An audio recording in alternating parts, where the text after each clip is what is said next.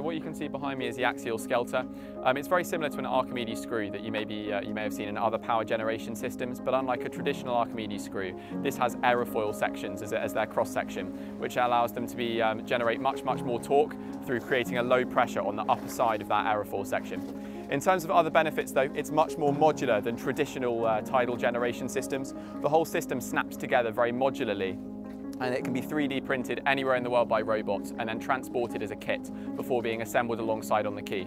The other benefit of this being modular is that if anything on board it breaks, it can be snapped apart almost like an orange in segments. Um, and these segments can be replaced as and when required. And redundant segments, as they're made fully of 3D printed plastic, plastic can then be melted down and reused. By connecting it up through this uh, PTO system here, we're going to generate some torque and work out exactly how much power it can produce.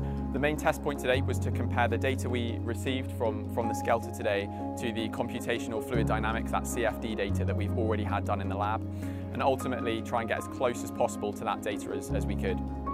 Overall then it was a really successful day and that's essentially because the data was really, really, really close to what we thought we were going to achieve. We were aiming for approximately 2.2 to 2.5 kilowatts today and that's the exact range of data that we achieved today.